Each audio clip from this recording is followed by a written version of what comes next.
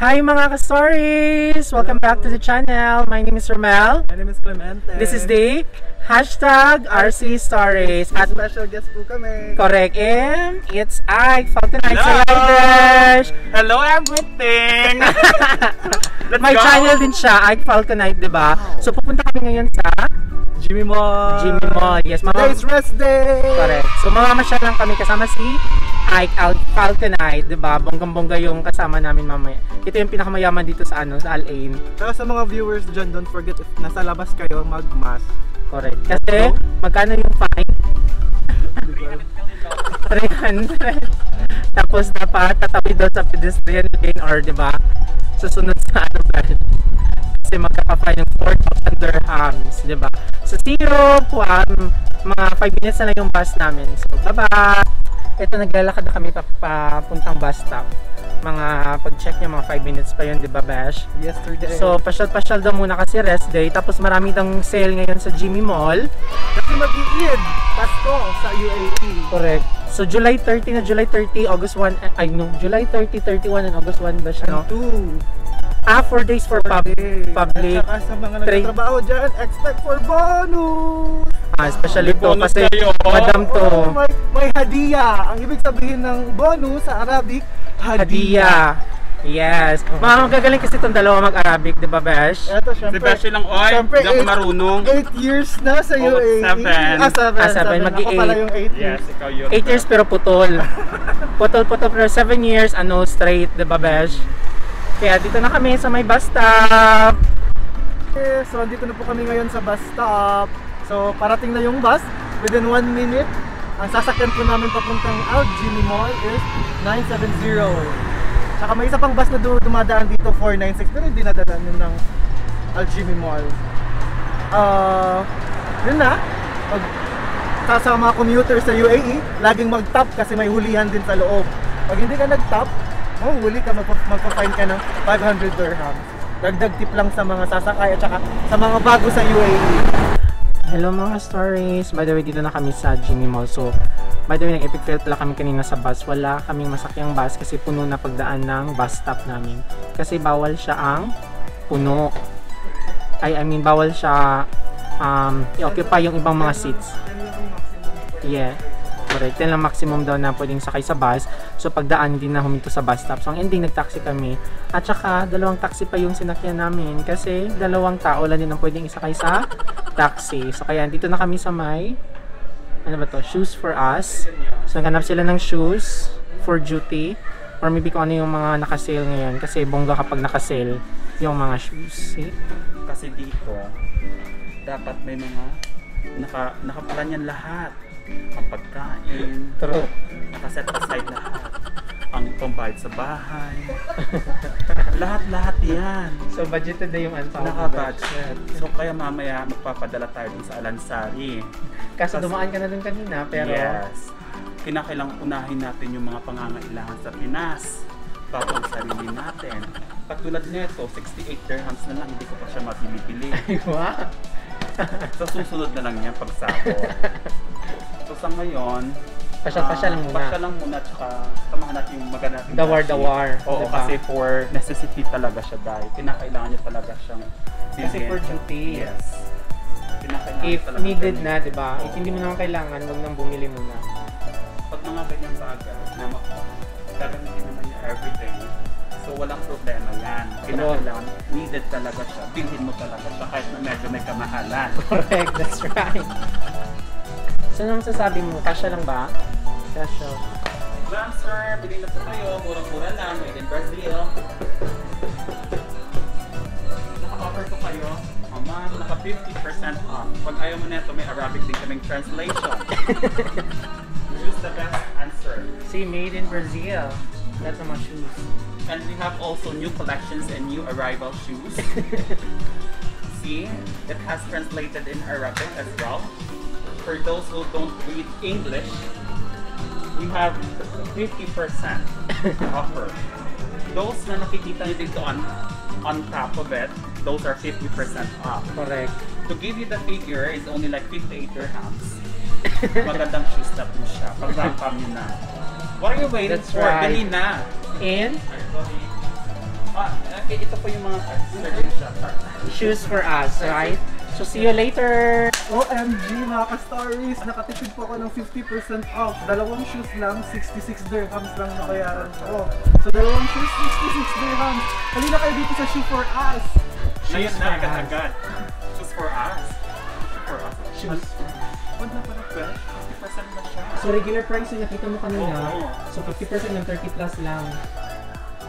Right? Oo. So, tara na. Ang galing naman, Besh. Dalawang sapatos, 66 dirhams lang. So Pero libre, pag isa lang? libre yung isa. Pag isa lang, 50% discount. Pa. Na-excite ka. Akala ko kasi walang discount kaya eh, gusto ko yung dalawa. So nandito na naman kami ngayon sa Red Tag kasi nakasale na naman siya tag 10 dirhams, 15 dirhams, 20 dirhams, most of their ano items, mga shirts, pants, shoes, slippers. CBC ang dalawa. BC kakapili. Items from 20 dirhams. Ito tops 32, tops 19. Ito mga bagong collections. Kaya parang mas mahal-mahal. Di ba, Besh? May napili ka na ba, Besh? Ayan, tapos na kami magdawar-dawar. Oh, not totally tapos-tapos na kasi meron, nandun pa yung isa ko sa Samsung.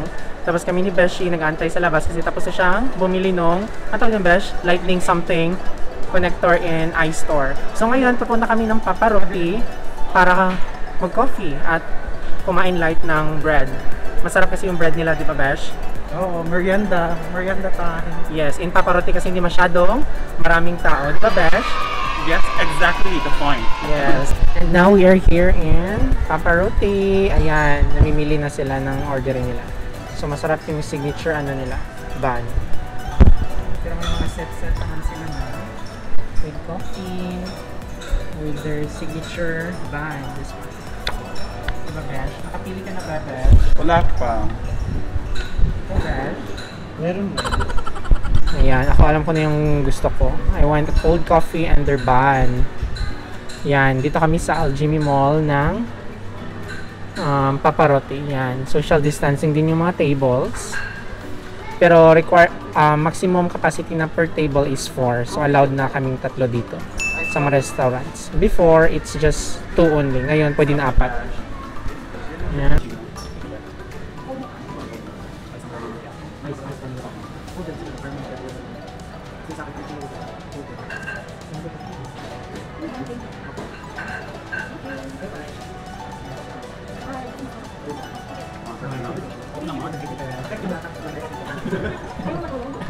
Ayaw niyo, hindi napapaiwan. Nandito na siya, guys. Alam, bakit parang may touch me that siya lang? Diba? May bagul. Korean noodles. Ano, ay? Pag-best ko pa. Ano pangalan mo siya eh? Christina? Saan ka sa Pinas? Ay, kasi mo yun! Ah, ito kay Ilo- Ilocana. Siguro sa. Ay, ako Alegria. South din. Ilocana, Bisaya eh. Bongga, Bisaya. Excuse me. Ah, ang ganda, ang ganda. Ulit, ulit. Tsaka. Oh my God, nandito na siya. Besh.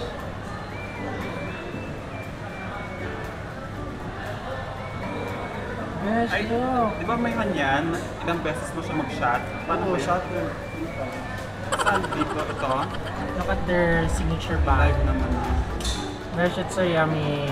Ah, so yummy. Ah, So, ito na yung like food namin. Ayan. Diba? Ang sarap ng ano nila. Signature bun with coffee mochaccino for Beshi. Mine is iced caramel macchiato and iced cappuccino for Clems. Okay. Ay, tatapon ko talaga yun. Sabi mo yun. Guys, tingnan yung ginawa niya. Tapos niya yung pera. Sabi mo sa akin, tatapon mo Hindi ko katanggap-tanggap yung 30 dirhams na to. Luma ba to? Masarap bang kape, Besh? Kasing sarap ng jowa ko. Char, wala naman siya. So tapos na kami dito. Ang sarap nung ano nila. Kape at saka yung ban nila. Di ba, Besh? Pero hindi masyadong kumain si, si Beshi. Parang ako yung nakaubos ng dalawang ban. Di ba? Oo eh. Si... Di pa tapos si Beshi. Ay. Sarap. Di ba, Besh? So, see you later. Pasyal-pasyal muna kami like dawar-dawar. And now, we are here on the other side of Jimmy Mall. So, dito kami pinasyal ni um, Ai kasi sabi niya may extension pa pala. Kasi, makikita mo sa labas kasi ang ng Jimmy Mall pero Besh, maliit lang siya pag inikot na, nung inikot namin kanina. Pero kasi ngayon, meron palang extension, mga iba-ibang shops. Hindi pala siya connected direct sa yung main niya, di ba, Besh? Watak- Ito yung bago. siya. Yes, correct. Dito yung Gerrier Bookstore, Dunkin' Donuts, The New, ito. Dunkin' Donuts bago. Di ba? The Yan, oh. Mm. Ganyan. Di ba ang laki ng shop ng Gerrier Bookstore? Ito, Dunkin' Donut. Kaya pala walang mga ganyan doon sa loob kasi nandito pala sila sa labas. So ito, pasyalin muna natin. O, di ba? So ito na yung extension ng we have Lamar's Home Center, United Furniture, La Brioche, we have Triangle, The New, yun sila, naglalakad. We'll go in Home Center.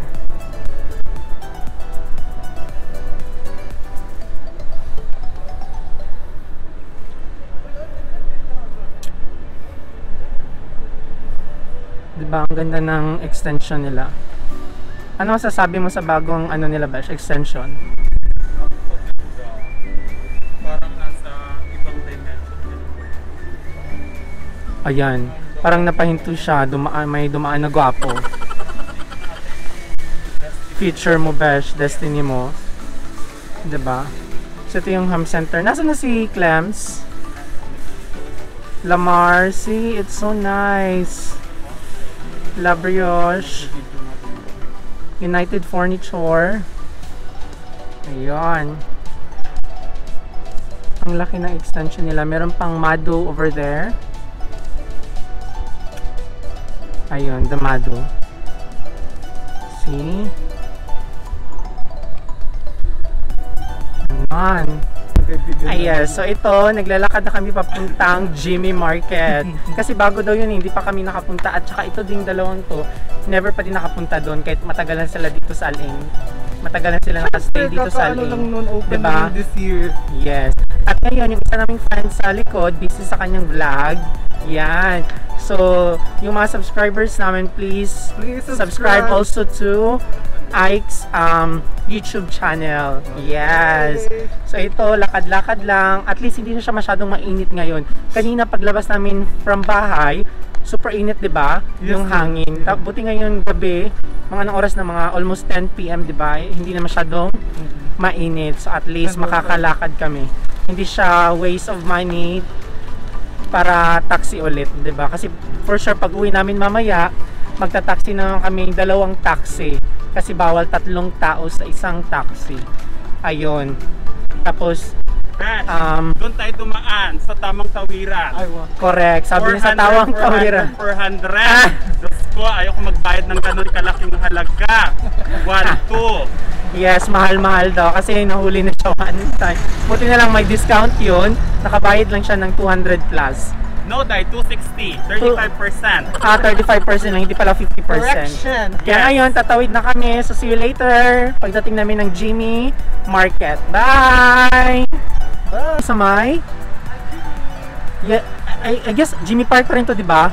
Jimmy area kasi to. Na-shock lang sila yung mga dati pa dito sa LA. Na-shock sila kasi may bagong ganito na. Ano masasabi mo sa bagong mong nakita dito um, nagulat. Siyempre, parang 2 years na akong hindi nakapunta dito from from 2018 I guess kung kailan ako nagbalik sa UAE.